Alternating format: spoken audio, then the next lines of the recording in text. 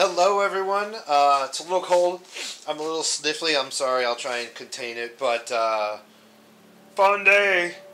I got all the upgrades that I've been ordering and waiting for. They all came out, so I'm going to do a little quick unboxing. I also got, ooh, I got the digital thermometers, and I got all the stuff for an air assist for my laser. So hopefully I uh, ordered the right stuff and this should, oh boy, I don't know why I got two solenoids. Oh no, they sent me 12s. No, I hope they didn't send me 12s. Oh no, they're 24s. Woo. Airline, solenoids, two for some reason. Pressure regulator fittings, the uh, connectors to go to the board, wire, and uh, two little digital thermometers because I need those in my sump. And then, uh, yeah, so I got all that. I'm going to hook that up to my little Cobalt over there. That thing should be able to do fine. And that's going to be a whole nother video that I'll be cutting up and shipping out. So, yeah, I got a lot of stuff coming, and most of it's laser centered. you tell what I'm into? So, so thanks a lot, guys, and keep watching. I really appreciate it. Um, yeah, leave me any thoughts or anything down in the comments. Thanks for coming by. Have a good one. Hello, everyone. As you can see, I've been uh, playing with my new toy, making some things. But uh, today is going to be hooking up my new air assist. The uh, stock pump is kind of weak, so uh, we're going to set this up today. I'm going to record it. There's a bunch of people doing them, but hey, why not? Everybody else does it. So I ordered all my fittings. I'll put all the links and stuff down below. Um, basically, we're just going to go with from this stuff to this, which is our air pump. Sorry, our, our compressor. So this will go to the compressor and then run to here through our gauge and water separator and to our solenoid, which this little bit will go in there. And then we're going out of our solenoid and to the machine. I have to hook up, the machine has it, so this is going to go through the back, and this is what I'm going to hook up to the existing. Um, got a little roll of wire because we got to go back to a controller and a package of connectors that goes back to the motherboard. And that's it. Um, I'm going to Teflon tape all these fittings up and all of that. And you don't need to watch me fast forward through making this stuff. Um, I will, uh, I'll be back. I'm going to do this and then we'll show you what we're doing on the machine for right now. And we'll get her done. All right, everybody, that's it. Uh, thanks for coming. Hello, out. all. Welcome back to the Laser Cutter. So, quick rundown of what uh, I'm going to do here. This is the old pump, which you can see. Um, this is our air line that we're trying to get to that runs back up to our cutter. I'm going to disconnect this and basically run this all the way over. I got this little hole here you can just see so I'm going to put my air in here and then connect up to this guy to uh, facilitate the upgrade.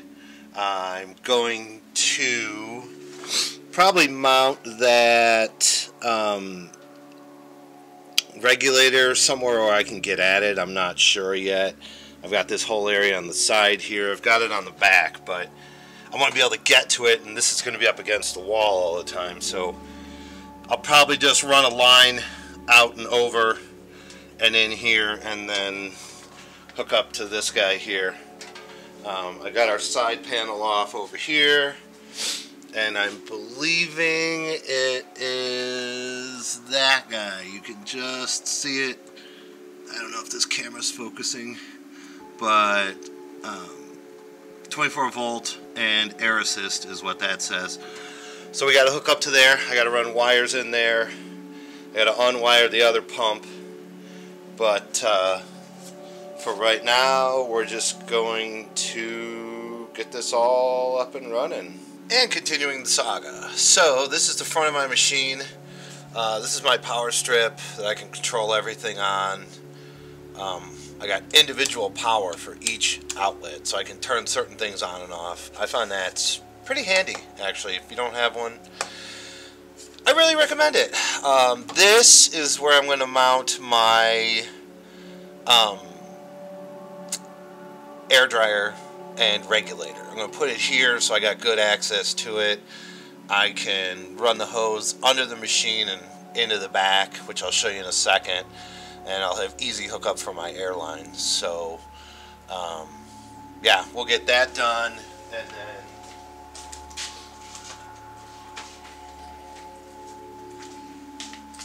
and then we will flip around the back and show you what's going on. So I have, uh, I've got all these together, taped, and I've got my solenoid wired.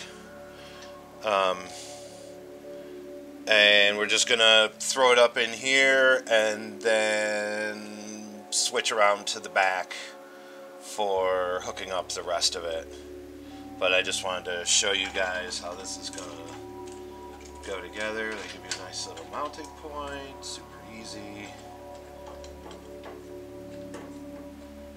And I gotta, I gotta wire loom and clean up the wires, obviously. Um, but yeah, that's gonna be it. And actually, now that I'm looking at it, I think I'm gonna replace this as well, uh, so I can come out of the bottom and go that way. But uh, yeah, that's the front, and I'll show you this when it's all done and hooked up. And we're going to switch around to the back now. So stay tuned.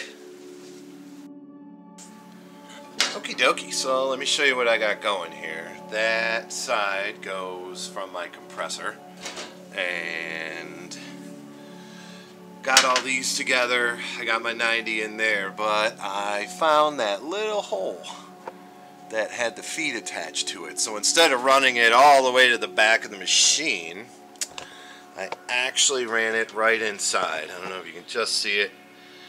It's the hose and the wire. I ran it under my air box.